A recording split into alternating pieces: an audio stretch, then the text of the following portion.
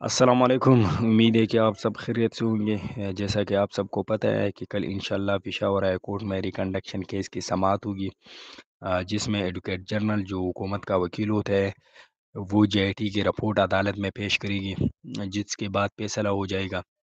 जैसे कि आप सबको पता है कि कल तक जो रिकंडक्शन की चांसेस थी, वो 100 परसेंट थी। क्योंकि जेआईटी ने भी ये बात तस्लीम की थी कि टेस्ट जो था वो लीक हुआ था। लेकिन कल जो माफियाज है और ब्लड स्टूडेंट हैं तो उन्होंने भी रिकंडक्शन के खिलाफ पेशावर हाई कोर्ट में पटिशन दायर की जिसके बाद मेरा एक हाई कोर्ट के वकील से राबिता हुआ तो कह रहा था कि जो रिकंडक्शन के खिलाफ जो लोग हैं उनका फंड जो है वो भी वैलिड है, उनका केस भी स्ट्रांग है।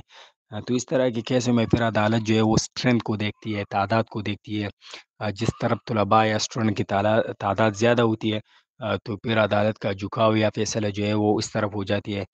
तो इसलिए मैं आप सबसे रिक्वेस्ट करता हूँ कि कल जो है हमारे फास्ट गोल्डन अपॉर्चुनिटी है अपने आँख लेने के लिए।